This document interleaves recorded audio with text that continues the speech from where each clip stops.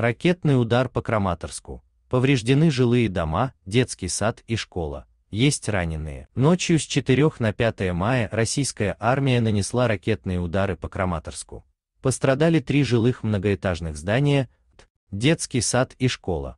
В результате обстрелов сообщается о как минимум шести раненых. Об этом сообщает РБК Украина со ссылкой на телеграм Краматорского городского совета.